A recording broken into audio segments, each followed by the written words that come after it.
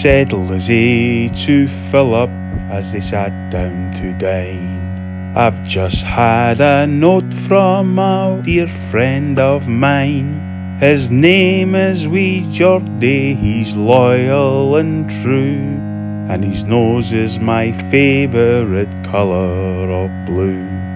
He says that the Rangers are right on their game, and he asks for a trophy to add to their fame. I'll send up a trophy the Rangers can win, said Philip.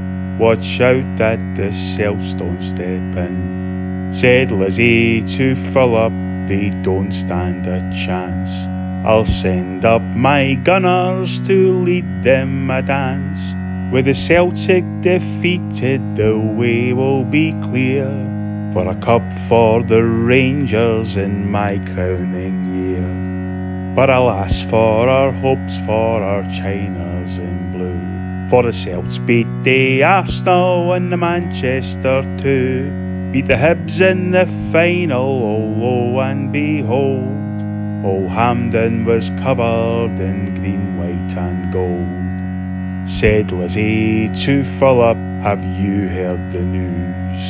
A blow has been struck to my royal true blues. So tell me, dear Philip, for I have to know, how can we beat Celtic and keep them below? Said Philip to Lizzie, there's only one way, and that's been no secret for many's a day.